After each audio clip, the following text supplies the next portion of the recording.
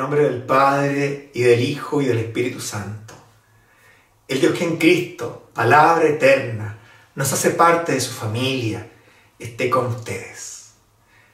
Del Evangelio según San Mateo. Jesús estaba hablando a la multitud cuando su madre y sus hermanos que estaban afuera trataban de hablar con él. Alguien le dijo, tu madre y tus hermanos están allí afuera y quieren verte. Jesús les respondió, ¿quién es mi madre y quiénes son mis hermanos?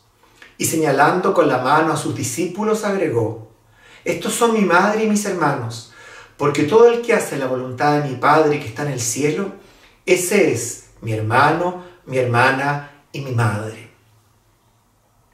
Es curioso que a veces en este mundo los criterios de familiaridad y confianza pasan por cosas bastante superfluas.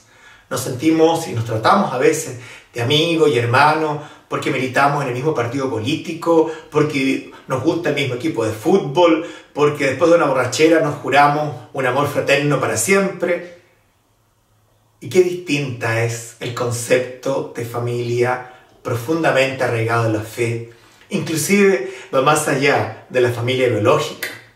En este Evangelio Jesús no quiere hacer un desprecio a su madre, la Virgen, y al resto de sus parientes. Lo que quiere es ensalzar que hay otro vínculo espiritual, no biológico, ni ningún compadrazgo o simpatía humana, que fragua la verdadera familiaridad.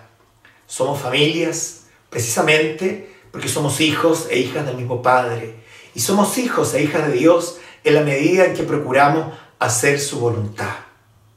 Ojalá que merezcamos este elogio hoy día en boca de Jesús, que nos pueda decir a nosotros, ustedes son mi familia porque hacen la voluntad de mi Padre.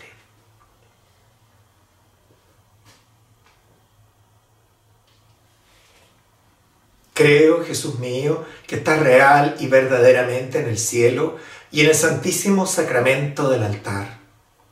Te amo por sobre todas las cosas y deseo vivamente recibirte dentro de mi alma. Mas, no pudiéndolo hacer ahora sacramentalmente, ven espiritualmente a mi corazón.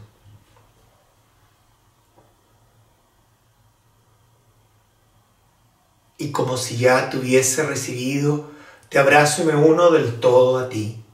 Señor, no permitas que me separe de ti. Que le bendiga Dios Todopoderoso, aquel que es Padre, Hijo y Espíritu Santo.